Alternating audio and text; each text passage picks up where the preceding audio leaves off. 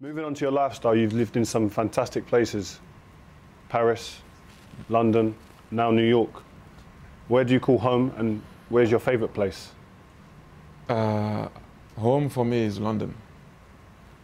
You heard it here first. London is his home. Yeah, yeah, yeah. Paris, New York, no, no, no. No, London. no, home. Because I keep hearing you talk. Right, mate. Right, bruv.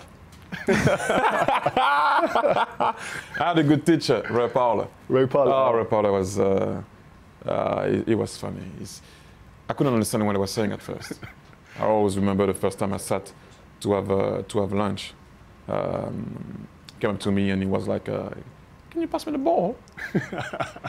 I was like, what? He goes like, the ball of water, water. And I was like, what? And then Patrick Vieira was like, he wants the, the bottle. And I looked at him and said, whoa. You know, and then I soon find out how he was. And I always like to, to joke, you know, with a, can I have a cup of tea? well, no, it's funny, but home is London for me. I mm. love New York. I'm proud to be French. If if you say anything about France, I'll go like, what, what are you saying? You know, mm. whatever. But home for me is London. I What about like the fashion and stuff? Where, where, where, where do you get your inspiration fashion wise? Paris, London, New York? It's a bit of a mix. That, mm. that, in that sense, I was fortunate enough because London, I mean, the style in London, you can't beat that. But when, when once you go to New York also, uh, the two towns are very similar uh, in terms of uh, fashion. But I'm not a fashion victim. I like fashion. Mm. So about music? I know you're into your music. Yeah, What, what are you into? type of everything. As long as you can dance on it, uh, I, I like it. Uh, obviously, I grew up listening to uh, to Zouk, which is the music from uh, Guadeloupe and Martinique, where my, my parents are from, and uh, and hip hop, R and B, uh, name it, uh, jazz, Hmm. uh, good uh, some rock, some pop music.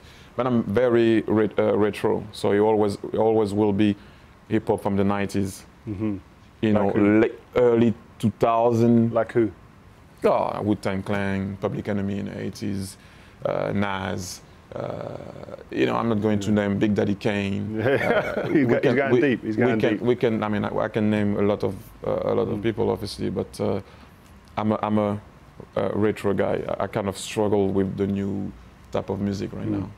Right, we know you've got to go off and do some, some more TV work, so thank you very much for being a part Real. of Five Mag. Thank you. Thank right? you, I Good luck appreciate it. you. Mr. George. Hardest player to play against, man. Oh, come on, man. Hello there, this is Thierry. You're on 5mag.co. The best striker in the world, striker, striker, in it, uh, it has to be Luis Suarez. We're Why? talking about yeah. He has everything. Hmm. He's in your face. He's arrogant in, in a good way. He can score goals, he can volley it, he can score headers, he can score free kick.